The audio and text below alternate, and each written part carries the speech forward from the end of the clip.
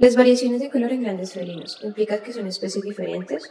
Al observar esta imagen, piensas que estos animales pertenecen a la misma especie o son de especies diferentes. Ten en cuenta que difieren tanto en su nombre común como en apariencia. Para responder a esta pregunta es necesario aclarar qué es una especie. En la actualidad pueden encontrarse varias definiciones para el término. Uno de los más conocidos es el concepto tipológico, en el cual los organismos se clasifican según sus características físicas. Este concepto, aunque sigue siendo popular, ya no es válido, debido a que no considera algunos aspectos, como que los machos y hembras de una misma especie pueden tener variaciones, como se ve en este ejemplo con el gallito de roca. En el artículo científico de Kevin de Queiroz, Los conceptos y delimitación de especie, el autor cita a May, quien propone que las especies son grupos de poblaciones naturales con cruzamiento entre sí que están aisladas reproductivamente de otros grupos. Utilizaríamos este para responder a la pregunta inicial.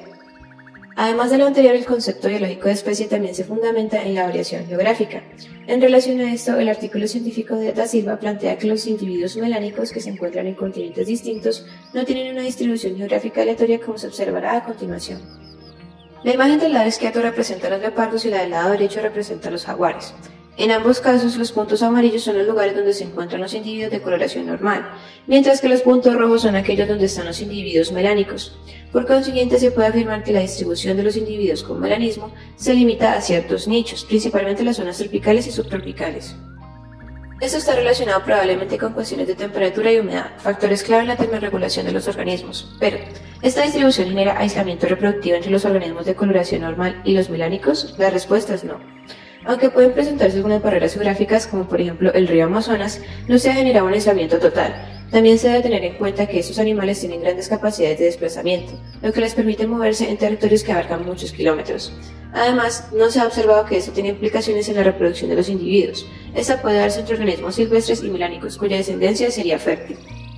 Entonces, ¿qué causa la variación en la apariencia de estos felinos si se considera que son de la misma especie? Esto se conoce como polimorfismo. Existe un polimorfismo cuando en una población hay dos o más fenotipos o morfologías diferenciados. En nuestro ejemplo, esto se relaciona con la variación de color en los felinos, es decir, con el melanismo.